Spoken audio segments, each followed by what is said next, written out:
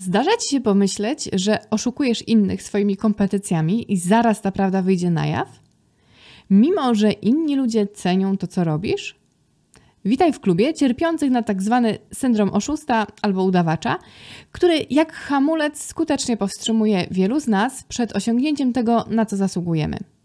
Gdybyś umiał ten hamulec odblokować, to Twoje życie bardzo zmieniłoby się na lepsze.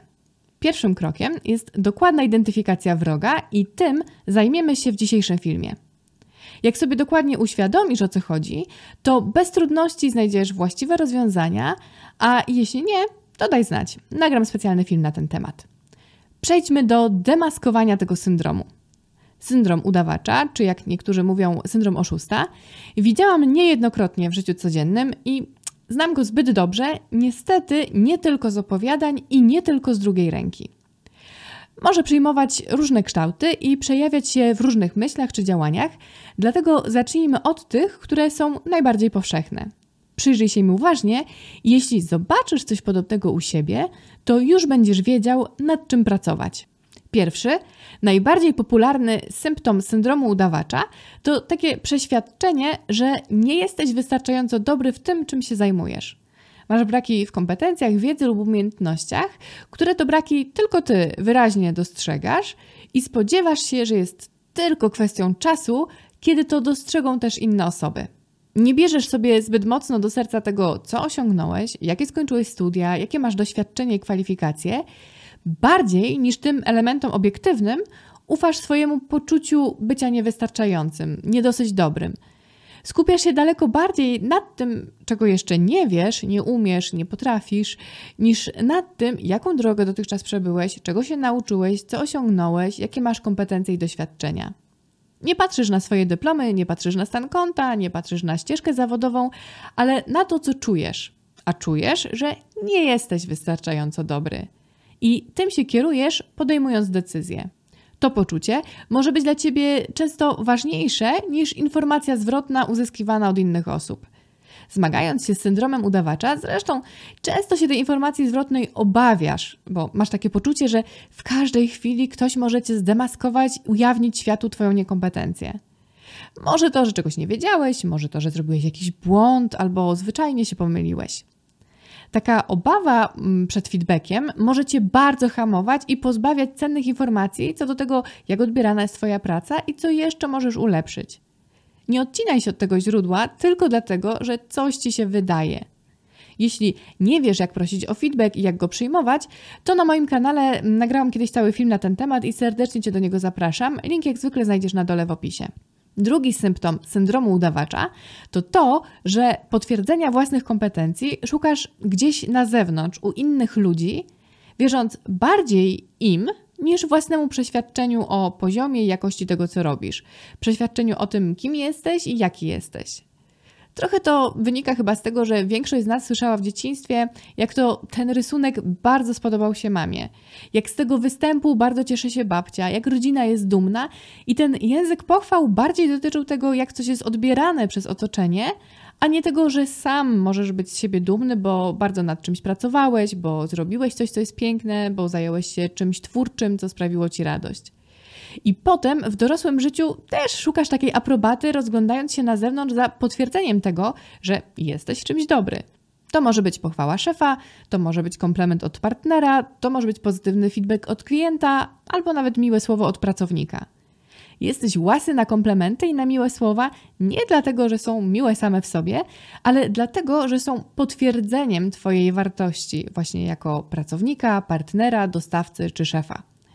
Takie poszukiwanie zewnętrznego potwierdzenia swoich kompetencji może być bardzo złudne, bo może łatwo prowadzić do tego, że nie tylko nie będziesz sam wierzył w swoje odczucia i obserwacje, ale też będziesz na siłę zadowalać ludzi swoim kosztem. Choćby tylko po to, by uzyskać choć odrobinę tego potwierdzenia własnej wartości. Jednym z najczęściej oglądanych na moim kanale filmów jest właśnie film o tym, jak przestać zadowalać innych ludzi swoim kosztem. Jeśli jeszcze go nie widziałeś, to obejrzyj go koniecznie.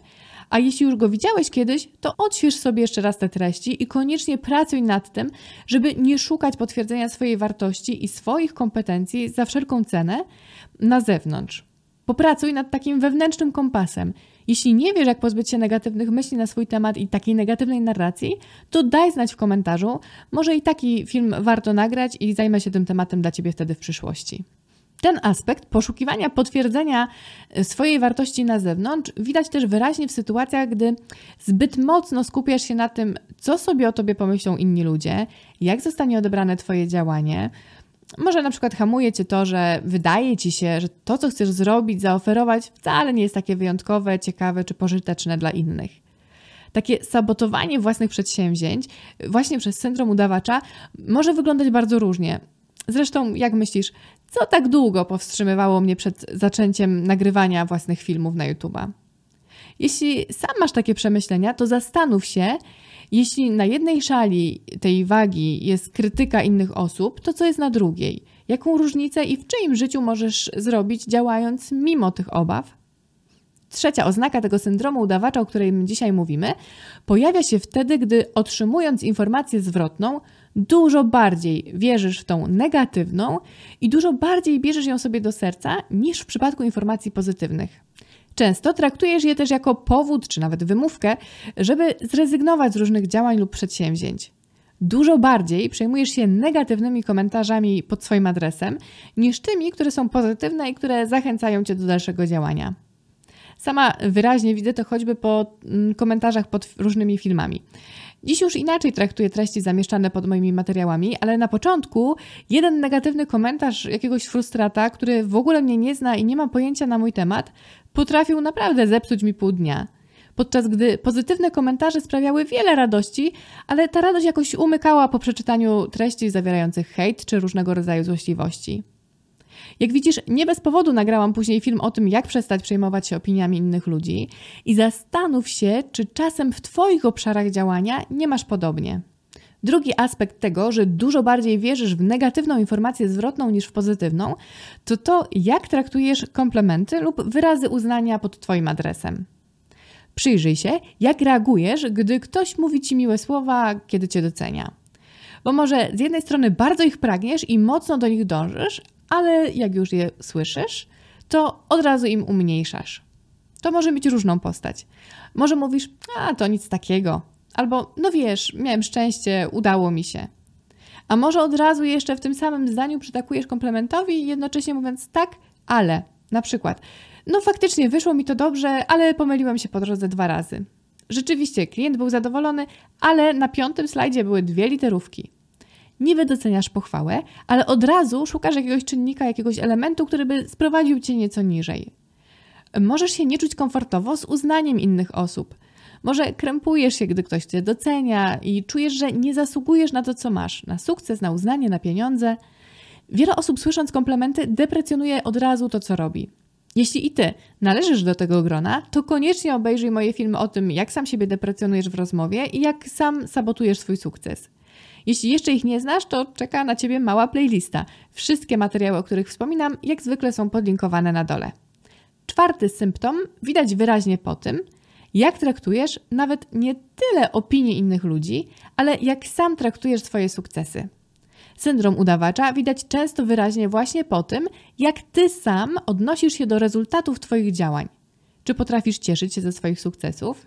Czy umiesz je uznać i celebrować? Czy raczej umniejszasz je skupiając się na tym, co poszło nie tak?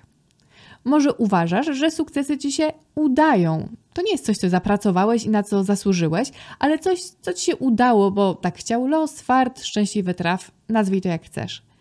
Ile znaczy dla ciebie sukces, a ile porażka? Nie muszę daleko szukać. Sama dość wyraźnie widzę to na przykład patrząc na wyniki spraw sądowych. Bardzo cieszę się z wygranych i z wyroków na korzyść moich klientów, bo w końcu po to walczymy niejednokrotnie latami w sądzie, żeby taki wynik uzyskać. Staram się o to mocno zarówno ja, jak i cały zespół mojej kancelarii. I taki pozytywny wynik daje mnóstwo satysfakcji i motywacji do jeszcze lepszej pracy i jeszcze lepszego działania. Daje też potwierdzenie, że to, co robię, naprawdę robię dobrze. Ale to nie ja wydaję wyroki, choć znacznie rzadziej, to jednak zdarzają się czasem też porażki i rozstrzygnięcia na niekorzyść. I co wtedy? Po wielu latach prowadzenia kancelarii widzę, że tymi negatywnymi rozstrzygnięciami przejmuję się znacznie bardziej niż cieszę z tych pozytywnych. A chyba tak nie powinno być. Chyba ta reakcja powinna być na takim samym poziomie intensywności w obu przypadkach. Przyjrzyj się uważnie swoim reakcjom i zobacz, czy ty sam też czasem nie popełniasz takiego błędu. Piąty symptom syndromu udawacza widać wyraźnie, jeśli paraliżuje cię lęk przed nowymi zadaniami i wyzwaniami. I ten lęk może wynikać z tego, że boisz się podejmowania nowych zadań poza swoją strefą komfortu, bo a nuż ktoś cię zdemaskuje albo w końcu się nie uda, bo skończy się dobra pasa i właśnie wtedy to nowe wyzwanie sprawi, że wszyscy się zorientują, że wcale nie jesteś taki dobry, jakim się wydawało, że masz jeszcze jakieś braki.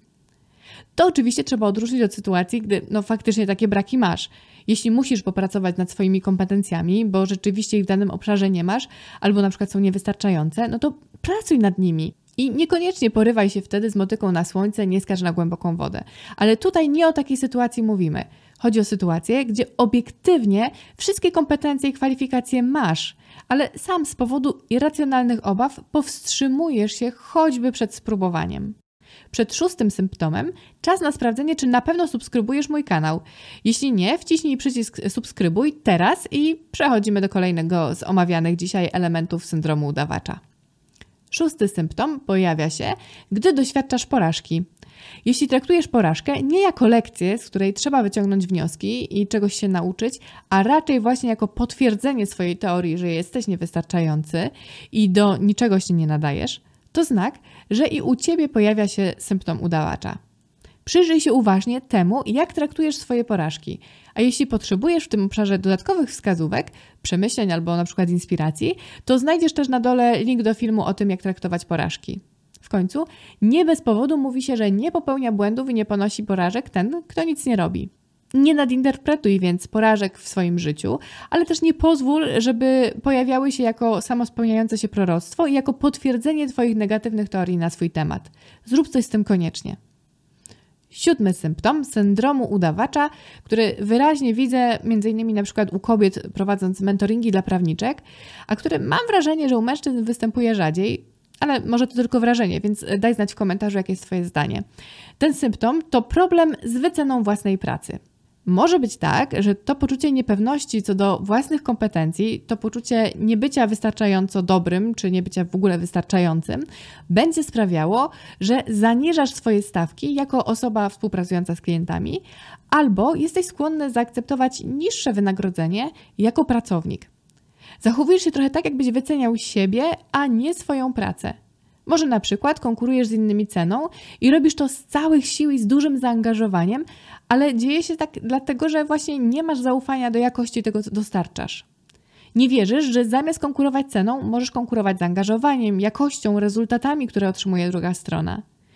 Jeśli nie masz zaufania, że jakość Twojej pracy się obroni, to możesz wyceniać ją nie tylko poniżej tego, co w ogóle jest rynkowe, ale nawet poniżej tego, jakie są Twoje koszty. Dlatego, jeśli dostrzegasz u siebie syndrom udawacza, to uświadom sobie, jak dużo przez niego tracisz. Nie tylko emocjonalnie, ale też właśnie finansowo. A jeśli prowadzisz własną działalność i masz spore wyzwania z wyceną swoich usług, to serdecznie polecam Ci książkę Usługi profesjonalne, w której znajdziesz sporo wskazówek, jak sensownie ustalać swoje stawki. Prawnikom natomiast w tym obszarze polecam książkę Kancelaria 2.0. Obie książki i wiele więcej dobrej lektury znajdziesz w naszym sklepie internetowym, więc serdecznie Cię do niego zapraszam, a link jak zwykle znajdziesz na dole. W kontekście syndromu udawacza trzeba sobie powiedzieć jasno.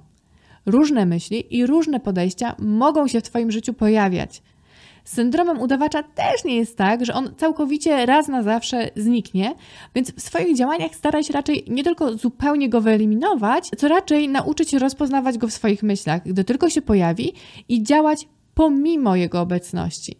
Naucz się używać tego hamulca świadomie i robić to na swoją korzyść.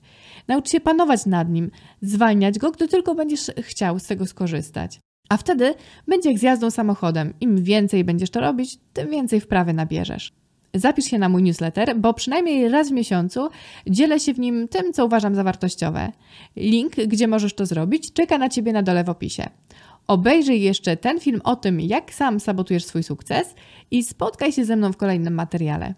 Powodzenia w działaniu i do zobaczenia następnym razem.